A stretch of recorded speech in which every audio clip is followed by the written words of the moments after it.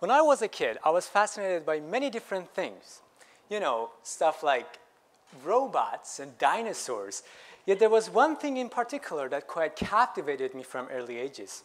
Colors. That's right, I was mesmerized by colors, images, and whatever transparent that sparkled with light. As a boy, I had this little crystal collection that I obsessed over. So much so that I devised a plan to steal that piece from my grandma's chandelier. Of course, that didn't went very well because that's like Mission Impossible when you're seven. And it's your mother's side grandma, not your father's side. So obviously, any diplomatic option is off the table. Anyways, this fascination kept growing with me. This is a painting I did when I was 11. Of course, it doesn't look like a pretty painting, and it's weirdly periodic because it's actually a hand-drawn 3D stereogram. When my poor mom first saw this, she was like, ha, son, how many is this? And I was like, two. Then she started lecturing me about randomness in nature and weird things like that. so moving on, anyways, moving on, I always had a lot of concepts that work with light. Concepts like photonic battery, a battery that uses photons, the particles of light instead of electrons, and thus can be charged up with a quick flash of light. Or just visualizing the invisible gases, just like this stream of air that I photographed. In recent years, though, I focused on some types of mysterious radiation, radiation that some of us researchers even refer to as dark magic.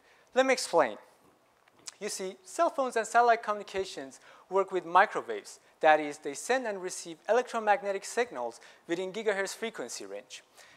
Your remote controller transmits infrared. Your TV shows images in the visible range where we can see, right here from 400 terahertz to 800 terahertz.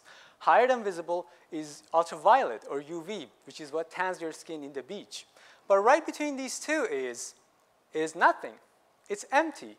You don't have anything right now that actually works within this range because this has been mostly dark to our, to our technology till recently.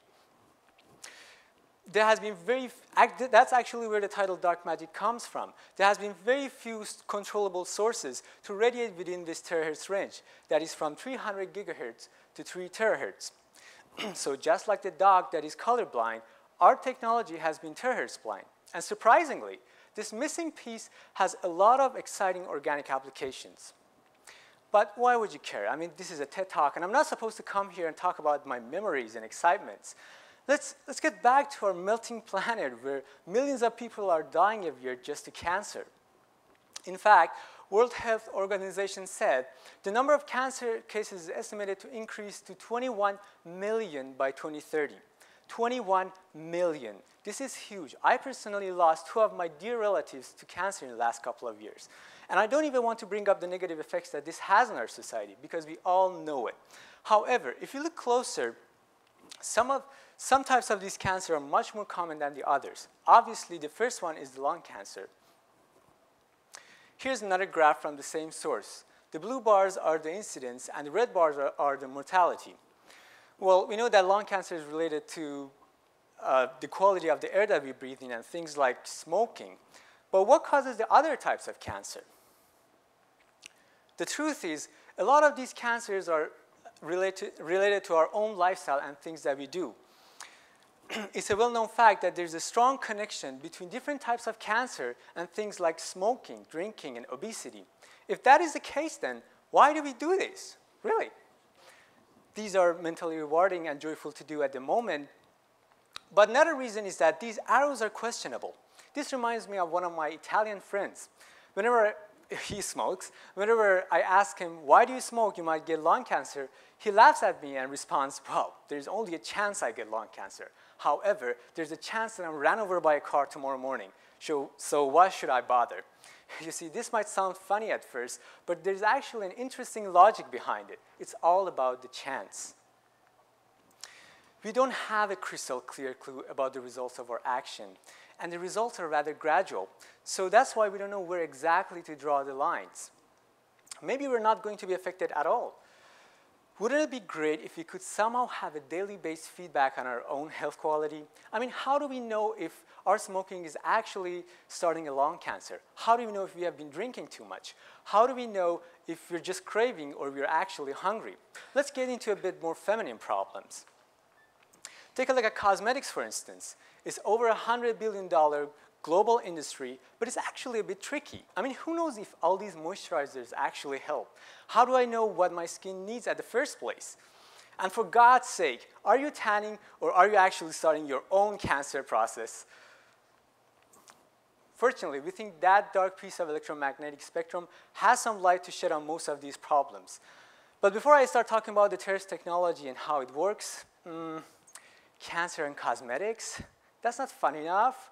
You're young students, you want something cooler. Well, believe it or not, with TERS technology, you can also see through clothing because it penetrates because it penetrates a dry fabric and it is absorbed by the water content of your skin. So now you can imagine yourself as a superhero with TERS sensitive eyes, or maybe not. Anyways, now it's cool enough, so let's see how it works. So there are many different ways to generate and detect TERS radiations. Here you can see a TERS setup with a TERS transmitter and a terahertz receiver. There are these tiny chips that we excite with short pulses of infrared, and then the TERS is generated and detected uh, and focused with this weird white Teflon lens onto the receiver. So let's have a closer, closer look at these chips because these are at the very core of this technology. In fact, I have one of them with me right now. So here it is. Now, if you can't see the word TEDx, don't bother because the chip is actually at, right at the dot of the word UVic. Anyway, it's just a, it's, a, it's just a tiny chip with some uh, micrometer sized electrodes and gap on it. And here's how it works. To generate terahertz, we charge up and illuminate this gap right in the middle of the chip. You can see with each incoming pulse, a terahertz pulse is generated at the other side.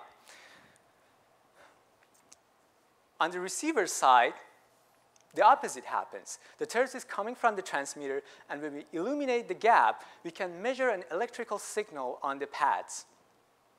So basically, these chips change the frequency of the light. It is as, as, if you shine a blue beam of light onto a chip and see red light emitting from the other side. Now, it's somewhat cool that the transmitter and the receiver can be fabricated from this, with the same technology, but more exciting than that are these other factors that are entering the game. You see, the infrared pulses that I talked about aren't those emitted from your TV remote controllers. These are fancy ultra-short laser pulses. And this is the laser that generates these things. We have had this for almost 10 years in our lab. And let me tell you, it's a big miss. You have a big chiller constantly humming down there. You have a giant control unit down here. Then you have a pump unit and an external cavity unit that you would have to tweak every single time you turn on the laser. It takes about half an hour to stabilize this $250,000 monster. But last year, something interesting happened. Replaced all of that with a cute little black box. It fits into your bag, and it does all the same thing, but with a lot less hassle and a lot less money. So essentially what's happening is that, so, so essentially what happened to electronics industry is now happening to optical devices. These devices are getting more efficient, smaller, and cheaper. It's just an extension to the same miniaturization wave and it's real. In fact, it wouldn't be much of a surprise to see the whole TERS system integrated into a mobile device like a cell phone in 10 to 20 years. This is because in parallel to miniaturization, other factors are boosting the performance of these devices. For electronics, it was the semiconductor technology that flourished the whole industry. But for photonics and these optical chips, it, it is it is the nanotechnology that is changing the game. Take a look at nanomaterials, for example.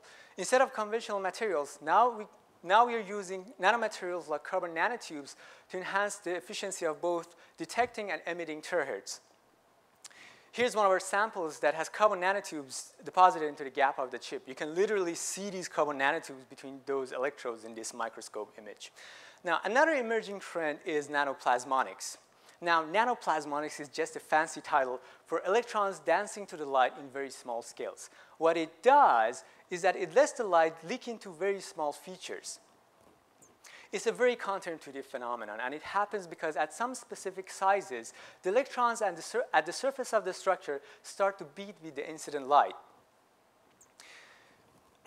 the images show one of our samples that uses the same principle to enhance the coupling of the optical beam with the substrate of the chip.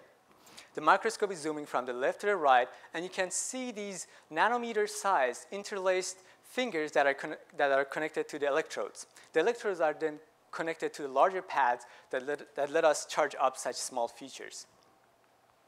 Now, even if you have a good Terse transmitter and a Terse detector, you still need to be able to guide the generated waves. Here's where the waveguides come into play.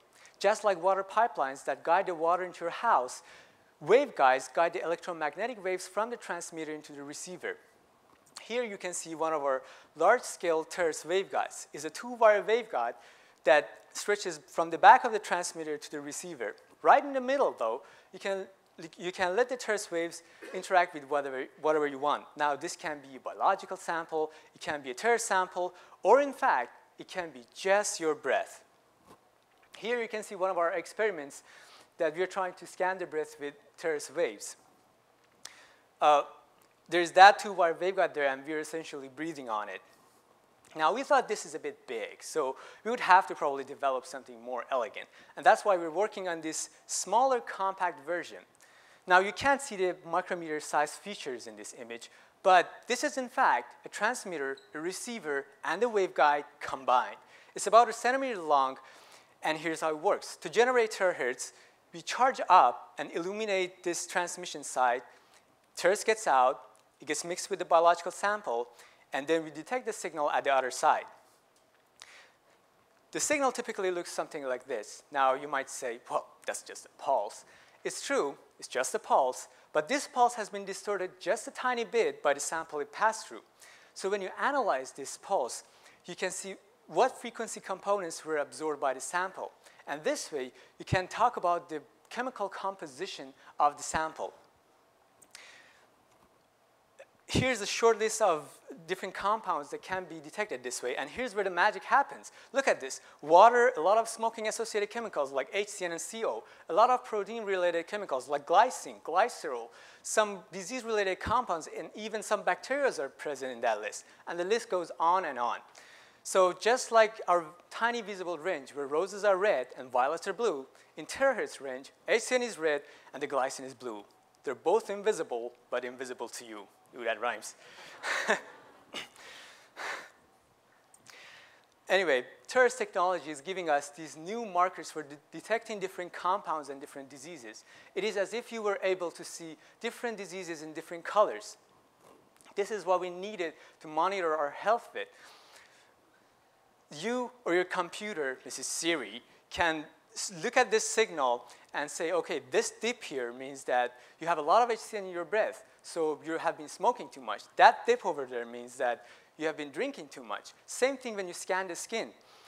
Your computer can look at the signal again and say, okay, that peak over there means you have some skin cancer agents present in your skin.